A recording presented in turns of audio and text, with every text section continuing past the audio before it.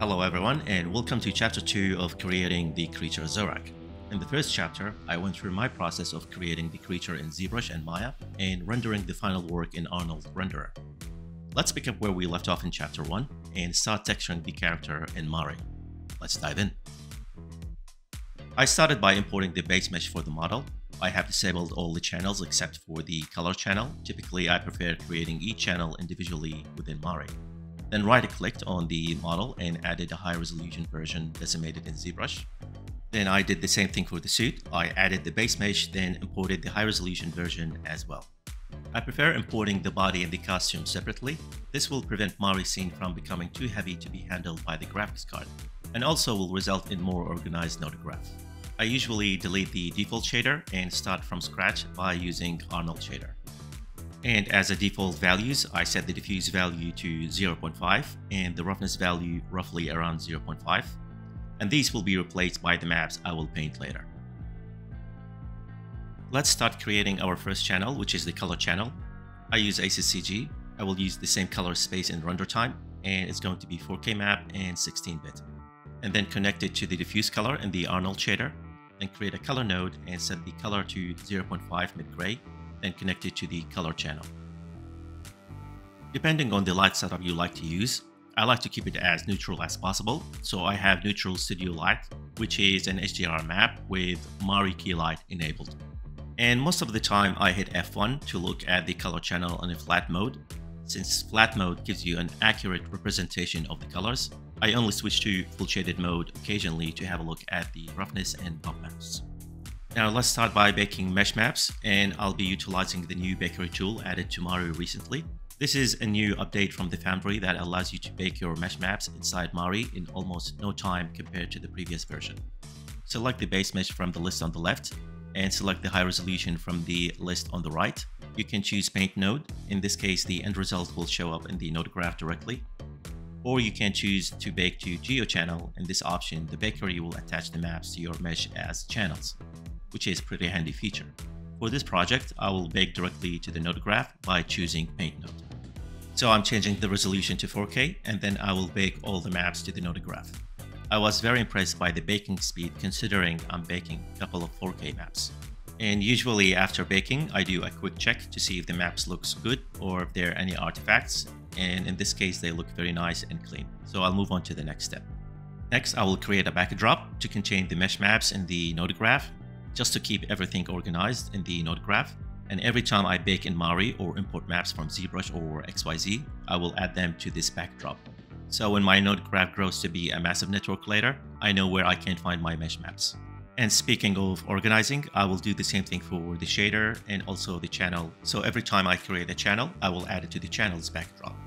And since I'm still working in the mesh maps backdrop, I will import the cavity map and the displacement map I generated in ZBrush and also the other maps I transferred using Wrap 3D. Now I want to show you the teleport node, which allows you to broadcast any map or node in Mari and receive it at any backdrop or any stage within Mari. It's an amazing node that I use a lot, which helped me in declutter my node graph and keep it clean and organized. So I'll go ahead and add a teleport node to each of the maps I imported and set it to broadcast so I can receive them anywhere I want within Mari. Next, I created mask IDs, which will be very handy when isolating certain parts of the model. I create a lot of mask IDs in my workflow. It helps in painting and color grading without affecting the whole model. And usually I create the main ones first and then come back and add more when needed. And as usual, I contain them in one backdrop to keep them organized and clean. And similar to the mesh maps, I will add teleport broadcaster to receive them anywhere I want later. I created a backdrop for the skin with Teleport Broadcaster, then added a receiver for the color channel. This way, if the skin texture grows to be bigger, which it will, I can expand the backdrop and add as many nodes as I want and contain them in one main backdrop. And I'll do the same thing every time I create a new channel. Okay, now we've got the boring part of the setup out of the way, let's start painting the skin. For any skin tone I paint, I usually use two to three colors from within the same skin tone as the base color of the character. And these are not shades of blue, red, or yellow, which I will add later. But these are the master colors that define whether the character's skin is human-like, or blue, or green. These what I call the master colors for the skin.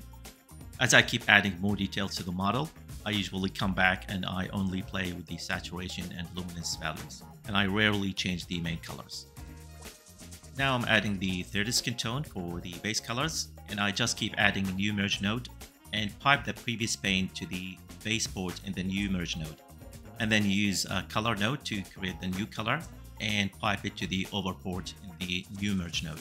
Then I add a black mask to hide the new color. Then set my brush to white and paint in the mask to show the new color where I want it on the model. And I keep switching to black color in my brush to paint out in the mask and keep switching brushes between soft, dirt or cloud brushes with low intensity to control how much I want to show of the new color on the model. I use texture, projection in production and personal work all the time, but for this kind of character and especially at this stage, I like to paint the skin and control the look creatively to achieve the desired look I have in mind. And also I wanted to show you my approach on how I paint the skin, should you decide to paint the skin for your own characters. Also, developing the skill of painting the skin is a very nice skill to have. Many hero creatures in production will require painting the skin from scratch to match the concept you get from the art department or the client. Unlike digidoubles, and in some cases you don't always have texture maps to transfer from to match the creature's requirements, so it would be nice to have the skill to paint at least a good base to layer tiled maps or texture projection. Also with this kind of setup, it would be easy to create color variations if a supervisor or a client asks for a different version. Simply we can change the colors in the main three nodes to whatever colors we want. So I've created the first pass for the skin tone and I will come back and tweak it later. Now it's time to start introducing different colors, starting with the red orangish color and using the same workflow, I will hide it with a black mask. And starting from the lips, I like to add the full color first, then fade it with the brush with low opacity. I should mention I have lots of skin references on my other monitor. It is important to study and analyze different images when painting the skin color. Just like anything, the more you study the images, the more you paint the skin, the more comfortable you feel with it. The process starts become easier and easier with practice. Now I'm adding more of the red tones around the eyelids and the meniscus area. And again, with similar workflow, I put the full color first and then fade it with the brush. For the red color, I usually start in the main areas like the eyes, the lips, the nose, the ears. Later, I will be adding it to the whole head as well. And that's going to be either using dirt or cloud brush with very low opacity. And as I mentioned earlier, this approach is non-destructive. You can go back to the color node for the red color and change it to more saturated or more luminance, which I do all the time. As you can see, I have introduced a new node, which is a darker color. And once I have a nice color palette of multiple color nodes in the node graph, I will keep switching back and forth painting in the mask for each color node and bring the skin color to the level I want. It is very normal to go back to the previous node and paint in the mask again to make all the colors work together. Next, I will add the cavity map I generated in ZBrush, which will dramatically improve the look. I usually lay it on top of the base skin with very low opacity and play with the levels and brightness then instead of adding the cavity as a black color on top, I always add a red tint to the map to simulate the red cavity and creases on the skin. Okay, now I've added the red warmer color to the skin. It's time to incorporate the last two colors into the skin tone section. I'll be adding them both simultaneously. The first color is going to be blue and the second color is going to be yellow. These colors will be applied on top with very low opacity. I will paint in the mask as usual to control the color zones on the head. Typically, I aim for more yellow color from the top of the head down to the eyebrows and more red from the eyebrows to the tip of the nose and more blue from the tip of the nose down to the neck. Keep in mind that these are general guidelines. There are additional areas where some of these colors are present in different zones, such as the eyelids, the eye bags, the lips, and the cheeks. And after working on the model for a while, I decided my cavity map is very strong in some areas, so I added a mask for the cavity map to paint out some of these areas. This is optional, you can do that procedurally if you want, which I'll show you how to do that in the next step. I added one of the utility maps that comes with the Texture XYZ head and painted out most of the map to leave only the freckles and the blemishes. Let's have a look on how to create freckles and blemishes using the procedural approach. Simply create a cloud node, set the scale value to very small value depending on the scale of your model, add a level node in the input level, crank up the black values almost to the middle, and bring down the white values. The goal is to achieve a very contrasty look. Change the black color in the cloud node to the color you like. I usually change it to peachy color or dark brown. And then I add a color balance node to add a tint to the freckles and give them more of reddish and brownish look. And from here, it's the usual workflow. In this case, I added a white mask to reveal the end result of the cloud noise, and then using a black color in the brush, and started painting out the freckles from the head where I don't want them to show up. So at this stage, I avoid adding more color nodes. I usually add contrast, saturation, HSV, and brightness nodes, and add a mask to control the intensity of these nodes on the model. And of course, the brightness or the contrast going to affect all colors. I usually go back and update one of the masks for one of the colors. And of course, while doing this process, I always keep an eye on the references I have on the other monitor. And at this stage, I tend to switch between the soft brushes and some other brushes that has more organic shapes. And when you paint in the mask with organic brushes, it will add extra realism to the skin, especially in certain areas on the model. Okay, so it's time to texture the teeth, the gums, the eyes. But before that, I'm gonna set up the Mari template so everything looks clean and organized. And the way I go about it is by creating a backdrop for each of the teeth, the gums, and the eyes. And then add teleport broadcast node to each backdrop and assemble them at the end of the line in this skin color.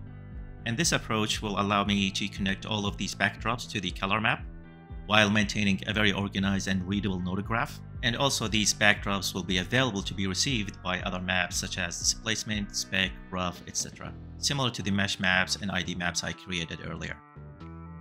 After adding the base color for the gums, I received the displacement map I created in ZBrush and then played with the levels and the contrast and layered it on top of the base color to simulate the deep red creases in the gums. And then I created two cloud nodes. The first one has smaller scale and the second one has mid to large scale. And then I added level nodes and color correct nodes. And then I changed the mode to screen in the merge node. And then I played with the amount to control the opacity of the cloud on the gums. The objective here is to create multiple color breakup in the gums texture. So for the teeth, I wanted to start by painting the black map, which is the color you see at the base and in between the teeth. And I used the same workflow. I started from a base color, then I layered a darker version of the same color on top. And with the mask and a combination of soft and hard brushes, I started painting around the base of the teeth.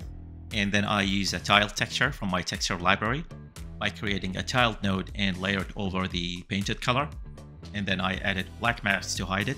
And then I started painting randomly on the teeth, but mainly focusing on the bottom of the teeth. And to add color variation to the teeth, I added a color balance node and then shifted the black map to dark brown color. And then I went back to the gums to give it another quick pass adding more saturation around the base of the teeth and the crease area between the lips and the gums. Now I'm done with the color map for the head. I started creating the roughness map next. I started by receiving the ZBrush displacement and then I inverted the map because I wanted the creases to be rougher than the rest of the surface. And then I layered the ZBrush cavity map on top, followed by the R channel from XYZ displacement. And with this approach, the cavity in the roughness map will match my displacement map in render time. And then I added two level nodes, one to darken the roughness map and the other one to brighten the map a little bit more. I started painting in the mask for the dark version to add the oily regions on the head and painting in the mask for the bright version to simulate the rough areas on the head. And I took the same approach I use in the skin color. I used the teleport receiver to assemble the gums and the teeth at the end of the pipe in the roughness map backdrop and once you receive a color map in a roughness or a bump or displacement, you can start by desaturating the map. And you can start by playing with levels, brightness, contrast, grade nodes to achieve the look you're after. And when it comes to skin roughness, I usually avoid creating a very contrasty roughness map, and this is going to be my first pass roughness map. I always add color correct nodes in look dev to control the map in render time. For the eyes, I used the ramp I created in Maya as a reference to paint the base color for the sclera. And similar to the skin, I created two base colors with a mask with saturated red, and I painted around the bulge of the cornea. Then with a harder brush that has slight soft edges, I placed a gray circle around the bulge of the cornea to simulate the grayish circle around the iris, and then dropped down the opacity to very low values and to add veins and blood vessels around the corners of the eyes. I used black and white veins and Thunder alpha maps and projected in the mask to artistically place them around the eye. Even though I was 100% sure I won't see the eye from the inside, I still projected the veins to cover the front half of the cornea just in case. And then I added a color balance node and I kept playing with the saturation and luminous values till I was happy with the color values for the sclera. And finally, to mimic the cloudy look in the eye, and also to add more color breakup, I added a cloud node in overlay mode with relatively low opacity.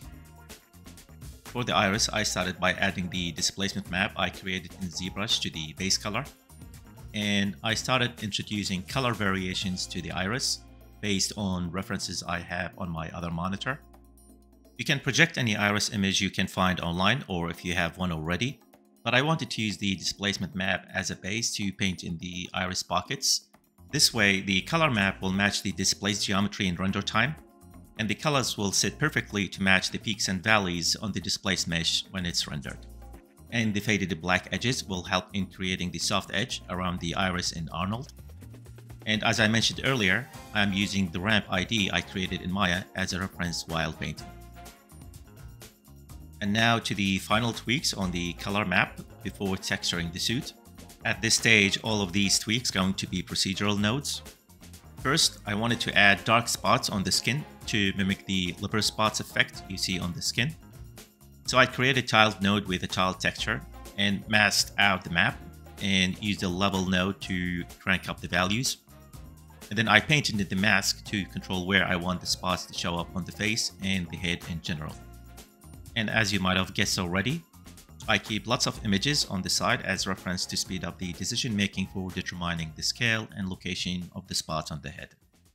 And the next thing I wanted to add is random dark freckles and blemishes on the head. So I used the same technique I used in creating the liver spots with different procedural map, and then painted out in the mask to remove the freckles from the unwanted areas and towards the end, I added a color balance node to give the freckles a darker brownish tint. And that's pretty much it for painting and creating the texture maps for the head. Let's dive into texturing the suit next. For texturing the suit, I started by making the mesh maps first, using the low and high resolution geometries I imported earlier, and then added a teleport broadcaster to each mesh map. Then right from the beginning, I started creating masks for each part of the suit as mask IDs, and also added teleport broadcaster to each ID. And then for the color map, I started from one color first, and then connected teleport broadcaster, which will be received via teleport receiver in the color channel. And with a similar approach to the skin, I created two colors, and I used one of the mask IDs I created earlier for the golden pieces to separate the colors for the suit. And right from the beginning, I added the cavity map I generated in ZBrush on top, and then played with the levels and the multiply amount in the merge node to bring it closer to the original color of the suit.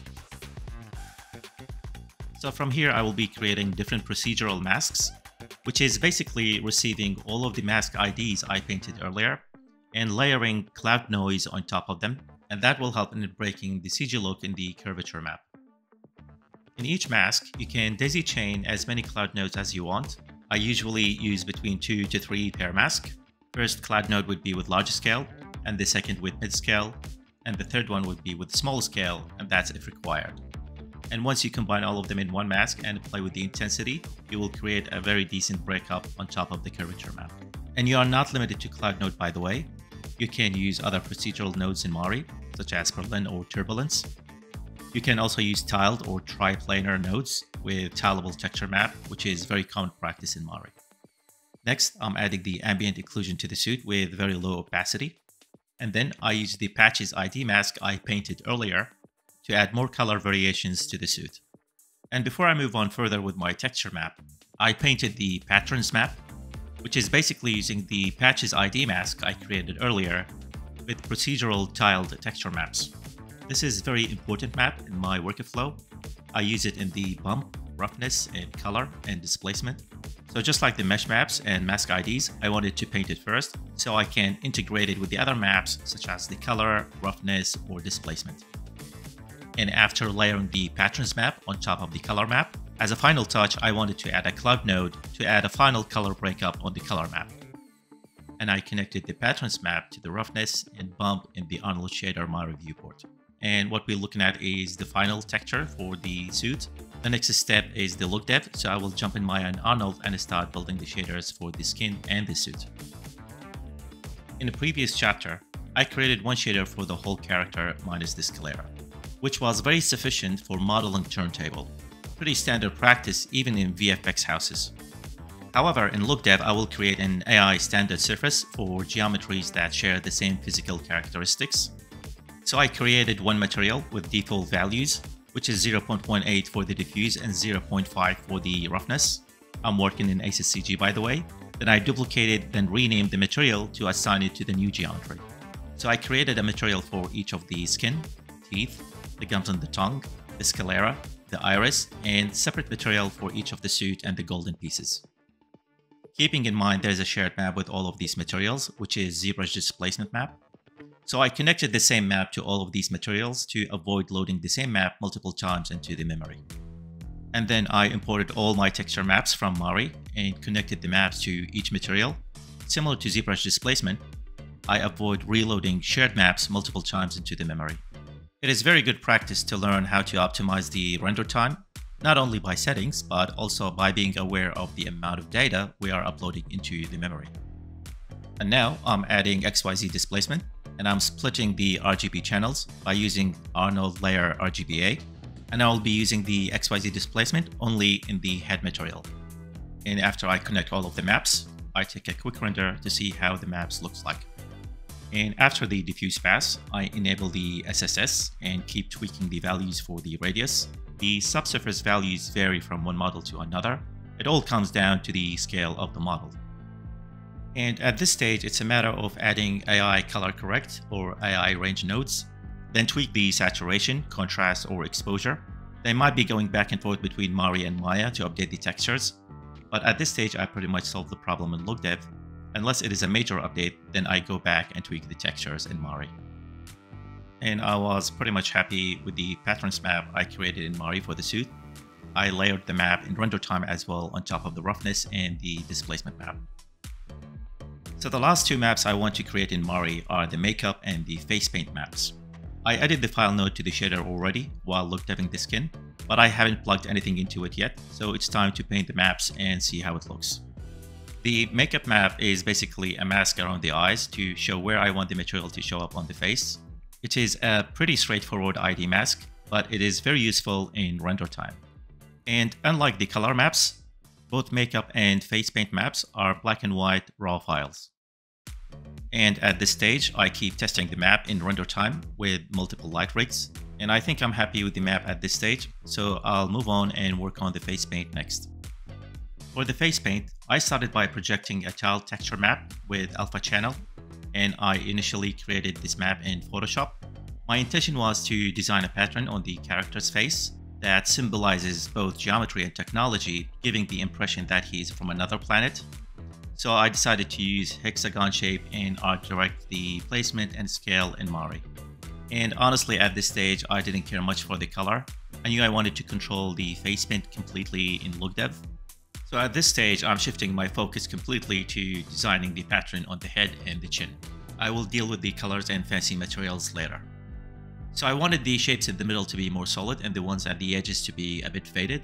However, I didn't want to use the simple gradient from the edge to the center technique, so I painted the shapes at the edges more darker and faded them to opaque towards the middle. And to make the design more interesting, I started by painting even more darker hexagons with random light ones, but keeping all the variations toward the edges. and then I went back and played with the overall opacity to get the final look for the mask.